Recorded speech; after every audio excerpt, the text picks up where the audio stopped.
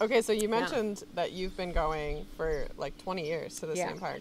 So how has your view of the park like evolved over those 20 years? How has it changed? How has maybe the park itself changed, park- and then how has your experience of the park changed? we you know the the park the park has grown up um, it's experiencing a lot of people a lot of lot of traffic um, one of our favorite places to camp uh, jenny lake which is a it's a tent only campground um, it, it's virtually impossible to get into i mean everything's first come first serve out there Yep. so you know you'll see people circling a lot at seven o'clock in the morning waiting to see if somebody's out um, and you used to just be able to get a spot there. one. Yeah.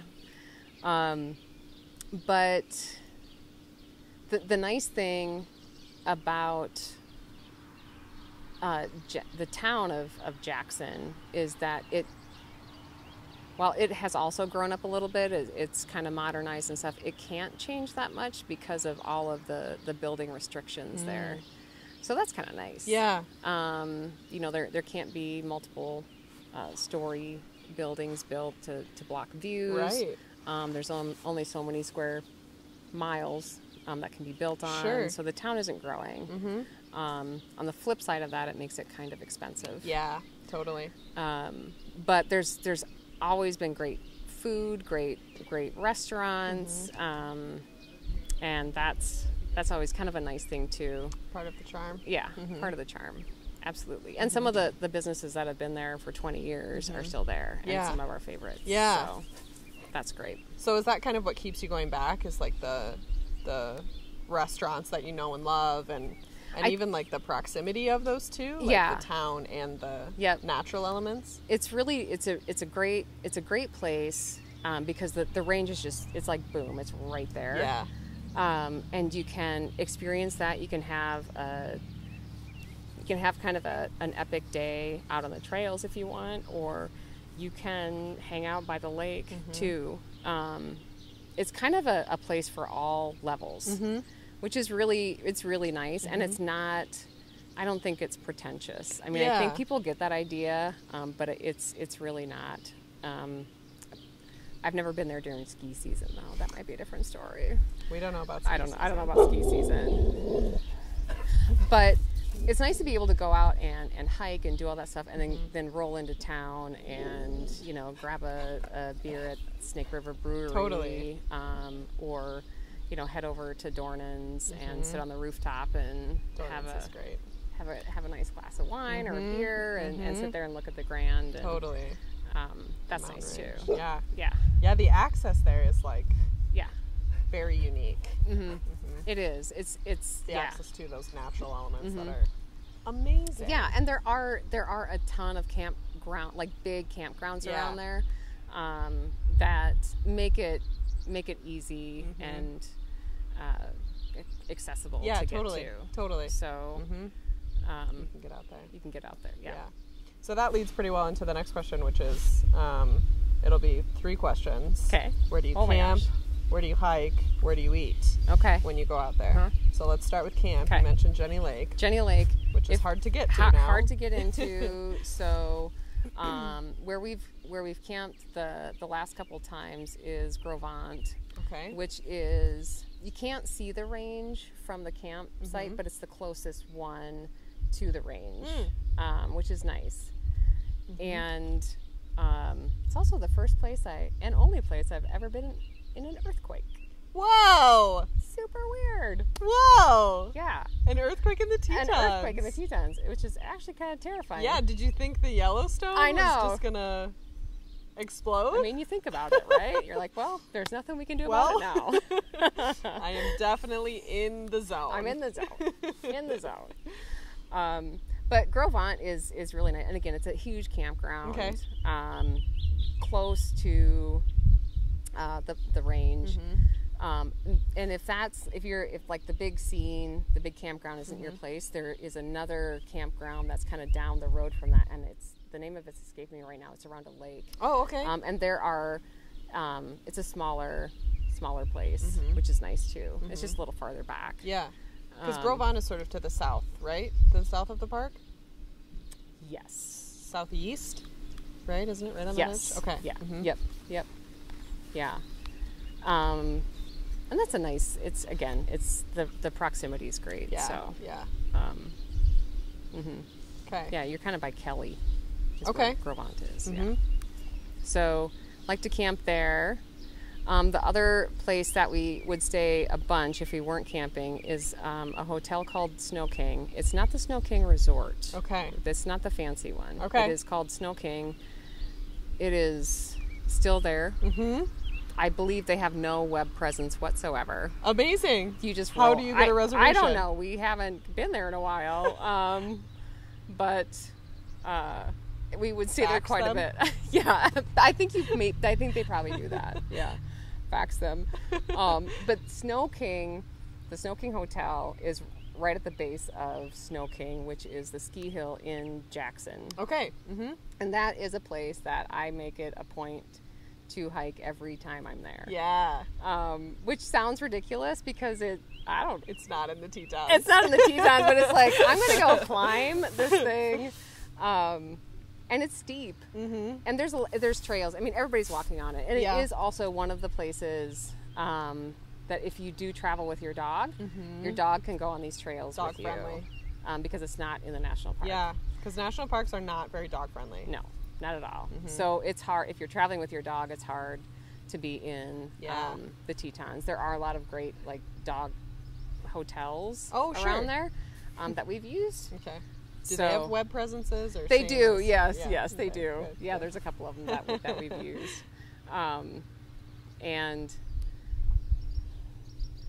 yes, um, but the Snow King, it's a great hike. Everybody's walking their dogs. It's it's a ski hill. I think it's also a mountain bike hill. So you get up to the the top of it, and um, you you have a great view of everything Mm-hmm. and then on the back side of that are a whole bunch of trails and stuff too if you Oh, want cool. a mountain bike or, or hike back there so that's really nice Mhm. um, and then you can you know usually what we do i'd get up really early and then go do that and then we'd roll down to like the bunnery for breakfast Mhm. which is so That's a great spot in good. Jackson. hmm hmm You told me that before we went, and it was well, well worth the trip. Yeah. The Bunnery. hmm The delicious Bunnery. Um, so we like to like to eat at the bunnery Mhm. we also um, there's a great coffee shop there called um, persephone Stephanie. which is incredible. Mhm. Such good coffee. Delicious. You Um, need the caffeine boost. You do. There's something like so much more satisfying about it in like that space somehow. Yeah. yes. I don't know. You're on Mhm. vacation. That's what you're supposed to be doing. Mhm. Enjoying stuff like Absolutely. that. Absolutely. Yeah. Yeah. So, um, I'm trying to think of where else we eat. We'd eat at a Thai place called Thai Me Up, which is now a a micro. They started brewing beer there. It's Melvin beer, which is I guess if you like IPAs, Cool. it's a thing. So now they're more of a Melvin place than they are a Thai place. No more Thai. That's a strange. It's a strange side step. Yeah, but Maybe? it seems to be working for them. Love it. Yeah. Um, and then let's see, Merry Piglets is a great Mexican restaurant. Mm. Eat there. Mhm. We're generally there. We try to go there on like the shoulder season, so Mhm. it's not so crowded. We've been there during like busy times, and it's it's busy. Mhm. It's Mhm. busy. It's a it's a small town. It's so a it small town. fast. Yeah, Yeah. absolutely. Um, and the park is actually pretty small, Mhm. so It really is. It fills up too. Parking and- lots. And, Yeah. Mhm. Um, but you know, if you go there in early October, it's great. The weather's still really nice. Mm-hmm. Yeah. And, um, not a lot of traffic, so Mhm. A little bit quieter. a little quieter. Shoulder season. That's Shoulder, a good se- tip. shoulder seasons are good. Yep. I love that. Mm-hmm. Um, so, what would you tell people who were planning a trip Mm. themselves about preparing to go? We could break that into maybe like weather considerations, which Mm, we've talked a little mm-hmm. bit about, wildlife considerations, and then maybe just if you have any like miscellaneous pro tips. Mm. Something that you've learned that you that you always prep for Mm-hmm. going into it, but maybe start with weather, like someone planning a trip. Yeah, weather out there um, pack everything. I mean, Totally. It's cold Yeah, in the morning. cold at It's night. Mm-hmm. cold at night. I mean, you're at you're you know you're at elevation, and depending on what you're going to do during the day, it may be really warm. We've been out there when it's 90 degrees Mm-hmm. Yeah. and like bright sun, Yeah. and that is hot. Totally, especially at elevation. Yeah. So you kind of just have to prepare for everything. Um, if you're there kind of in those shoulder seasons, it's probably going to rain or snow. Um, so we just be prepared for that. Some precipitation. Yep. You know, rain gear. Um, and yeah, the sun is intense. Yeah. So be SPF. mindful. Yes. UPF. UPF. Yeah. Cover your cover yourself. Mm-hmm. Um, but you can also, I mean, beautiful. You don't have to really worry about bugs Yeah. because you're at yeah. Mm-hmm. elevation, which is nice. There are bear, so have bear spray with Yep. you if you're going in the back country or actually just even around. Hiking. Be mindful of the bears. Mm-hmm. Pay attention to when they're telling you that Mm-hmm. there are bears in the area. Totally. Um, and yeah, and you know, there's moose and all kinds of stuff around. So Mm-hmm. Just again, be mindful of the the wildlife. Pay attention. Yeah. How about when you actually are when you do camp? Um, how do you prep for? How do you deal with the bear proximity while camping? What do you do to stay safe in that situation? Um, you know, if you're camping at a, a campsite, they all have the bear can. They have the Yeah. the bear Bins. bins, and stuff like that. Otherwise, we would just you know use the tree. String up your food. Yep, string up your food. Yeah. Um, I guess we've used bear canisters once. Okay. But, hmm mhm. And they actually recommend like anything scented too, right? Yes. So like toiletries. Yes, toiletries. Anything with a smell. Yes. Mm-hmm. I mean, it's you know, in all of these really populated areas, bears are getting really sensitive to all Mm-hmm. that stuff, and um, the better stewards we can be about that, the Mm-hmm. safer the bears are. Totally. So Yeah, because you made a, a good point. I think the last time that we talked about this, that it's the bear who pays the price Yes. if we if we sort of mess something up. right, right. It's Which is- yeah, it's unfortunate, Mhm. but they're going to end up yes hmm dead Yeah. um, because you didn't put away your cookies. Right. Totally. So Yeah. Not yeah. something to mess around with. No, no, not at all. Not at all. And and I don't know, you know, you see it in those big campgrounds quite a bit. Either people just don't pay attention Mhm. or they're they're being kind of flippant about it, but it's a real thing. Yeah. They're So, around there, they're and they're smart. You know, they'll, Right. find, they'll find food sources. so Right? I mean, and easy Put them ones. away. Why yeah, not? totally, totally. Can't really fault them. No, not at all. Yeah.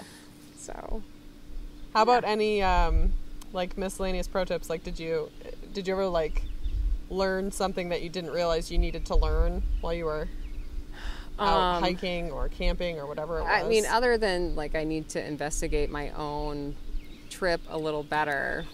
Um, don't rely on don't rely on boyfriends, boyfriends. information. Right, right. or husbands. right. Know what you're getting into. Um, and that's one of those things that i that honestly because that day that we were up there hiking or that we were climbing the grand we we did see um, some really unprepared people that that shouldn't have been doing what they were doing. Um, they weren't properly dressed. They didn't have i mean they were young kids that that weren't prepared for that stuff and Timing was wrong. timing was wrong. Um, you just you have to be awa- aware. Mm-hmm. Um, just because it's there doesn't. I mean, you have to make plans for that Mm-hmm. stuff. Um, you really don't want a helicopter rescue off that mountain, Totally. and I'm guessing it happens more than we think. Mm-hmm. So, um, yeah, just plan your day, Mm-hmm. plan your trip. So the park's not going anywhere. I mean, if you can't get to it that day, Totally. it's gonna be there. mm-hmm. Try again another time. Try again another time. Yeah. It's okay. You're gonna want to go back. Yeah. Yes. So it's okay. Yeah. 20, 20 years of going back. 20 years of going back. So You've got time for it. yeah. Yeah, spaces like that make you recognize like your own fallibility, right? Mm-hmm. Is that a word? I'm sure it is now. Yeah. Yeah. I think so. Why yeah. not? Good Why tips. Yeah. Um, how has uh, traveling to the Tetons so much affected your view of other wild spaces that you that you visit or travel to? Like, maybe how has it prepared you for those spaces, Hmm. or how do you view even maybe like the differences in landscapes because Mm-hmm. you've been to that place so often? How does it inform the way you experience other spaces? Yeah, you know, it's one of those places that you always just that we just keep going back to because Mm-hmm. it is so incredible. It just it's that something about that range. Yeah. Um, and again, maybe it's the accessibility of it. Mm-hmm. Um, there's just there is something very magical about it. Um, you know, and you can go. We've been into the Wind Rivers um, a fair amount also, which is mm-hmm. you know huge, big mountain ranges just to the, to the south of there, mm-hmm. and um, it's just not not quite the mm. not quite the same. I don't know. There's something about Jackson that, that keeps keeps bringing us back. Mm-hmm. So, um, I. It's hard to compare it to other national parks. They're just. I don't know. It's just different. It's just different, and I and again, I think maybe it's the access. Maybe it's just the uh, all the memories out of there. Totally. there. So Yeah.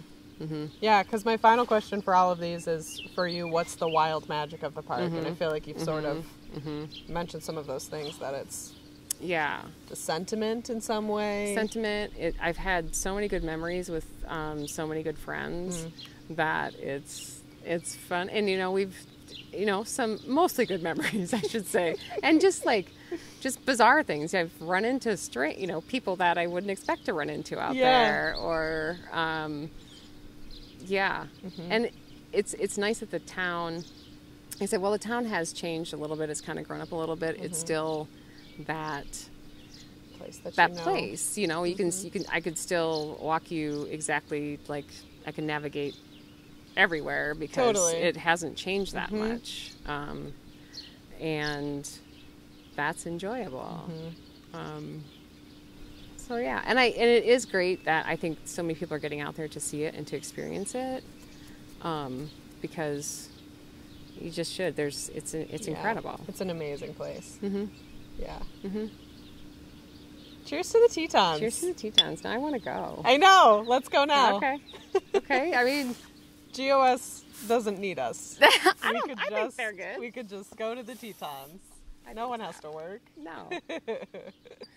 we could be out and back in a few days. There you go. Yeah. Absolutely. Yeah. Well, thanks for telling me about that. yeah. Absolutely. I love this. Thanks for having us. Yeah.